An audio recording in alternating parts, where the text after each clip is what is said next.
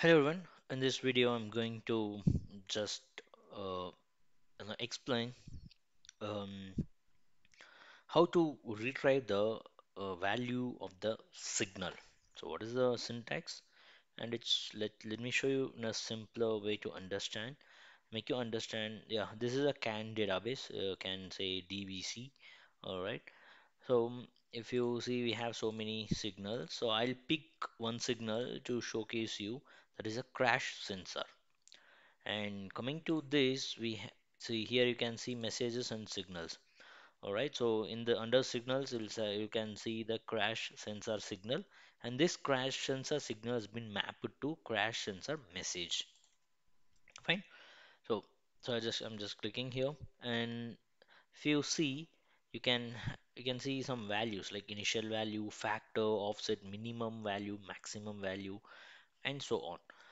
So now I just would like to showcase you how to retrieve the uh, initial value, factor, offset, minimum, and maximum. All right. So I'll just pick one, two, three, four, five. Yeah, these five, and these are all from the signal. Okay. For this, the prerequisite is you have to add this particular database into this CANoe measurement window. All right. So in sorry, uh, CANoe simulation in this particular configuration, you have to add it. See here, I how I added is have to go to the simulation setup. Simulation setup under CAN, I have added this database as a DO. All right. So now uh, let me open this programming node. There is a program node or anything you can call it as. Yes. Mm, I'll just give on start. In on start, I want the program. Uh, what I want exactly is the crash sensor signal. All right, so it is in the inside the message is crash sensor message. Mm, what I'll do is first I'll declare a variable like because as it is a integer, I'm giving I'm going for an integer. Integer. Uh, I'll give what I'll give is I'll give factor, factor and offset. Okay, factor integer factor is equal to this is the signal name. I'll copy the signal name. Then it is in the message. I can copy this.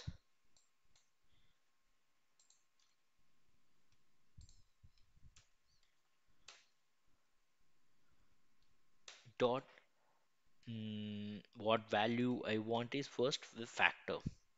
So it came yeah. All right now what I'll do is I'll give a write the factor value for the crash sensor is percentage D I'll give factor.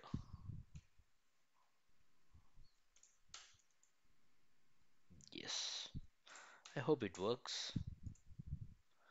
Yes no harm with this. I'll give save give compile yes it compiled successfully. I'll give run. The factor value for the crash sensor is 1 let's see the factor value what it is. Yes it is 1 Uh, let's in the similar way we'll try to get the offset minimum and maximum. Right so int let me stop this configuration.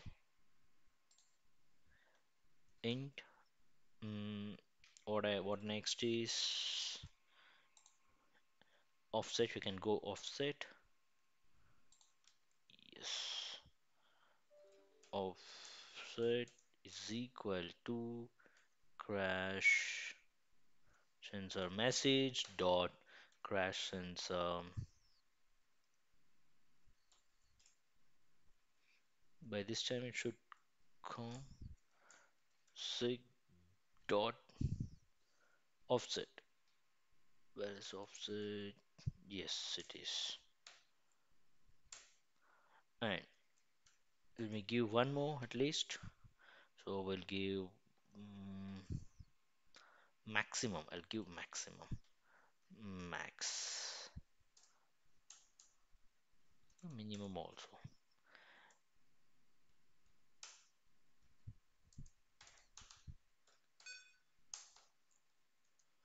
Yeah, okay. Crash sensor message dot.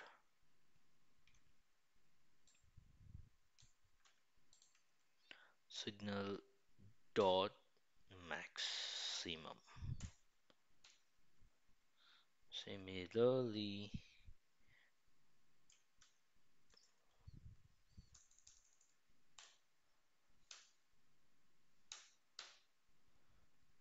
going for minimum. Yes. And here, let me write, can write in the same uh, statement, but just to showcase a difference, I'll write this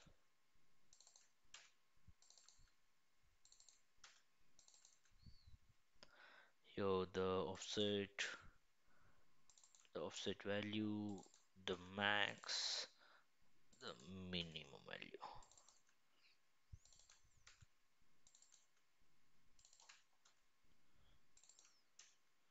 Yeah, I think except this offset, offset all should be 1, right? See, offset is 0, factor is 1, minimum is 1, maximum is 1. If you want, you can use initial value also, but still it's well and good. Sufficient to show you the syntax that is, uh, you can declare as a variable and you can use as a message, then you can use as a signal, then you can use whatever the parameters you want to broadcast, right? Yes, see the factor value for the crash sensor is 1, the offset value is 0, maximum value is 1, and minimum value also 1. Alright, yes. Now, as we discussed in the previous video, let me push all, I mean, uh, change, make everything in this variable block. Yes,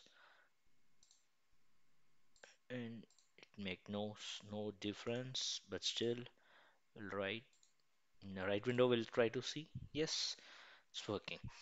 All right, so it's all about this. So how to print some or how to retrieve the data in the signal. Yes, this is the syntax you should follow. It's like um, message name and okay, let me check without a without this message. Let's see what happens. So here I, I gave only the signal, no message I gave, and let's see what happens is. Yes, it works. It works. All right. So, but why we used message?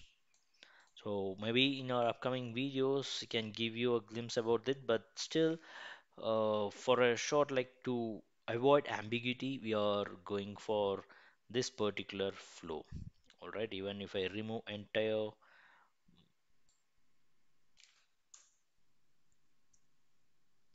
message, it should work. Yes. I don't think so. It will it will create any issues. Yes, it worked. But if I give only the message name, what will happen? Let, me, me comment out everything except this, and I'll give you give only message directly. Let's see how it works. So now here I gave only message, right?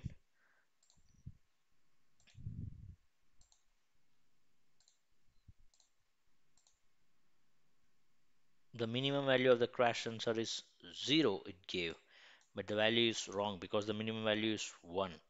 Right? So why it gave? Because it, it assumed that it doesn't has any value. But if I give the signal name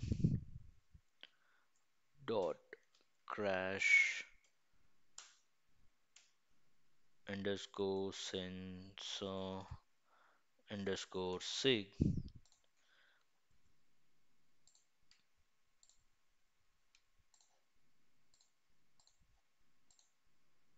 see it's giving an actual value.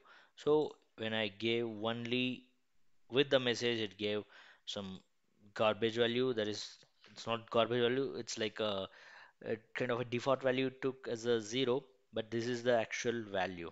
All right, so we can give without message, but we should not give without signal, and we can give with message and signal without with the parameter whatever you want. All right, so this is just um, uh, just a format that you should follow and even you can include the node name if you have a multiple nodes. Now we don't have multiple nodes so I have just uh, written only this. Otherwise you can use also use like this. Maybe in our upcoming videos we can have more info about this. Okay so database doesn't have it. Yeah so maybe we can get this in upcoming videos. Yes and if you have any queries, just please feel free to get back to us and we'll catch you in the next video.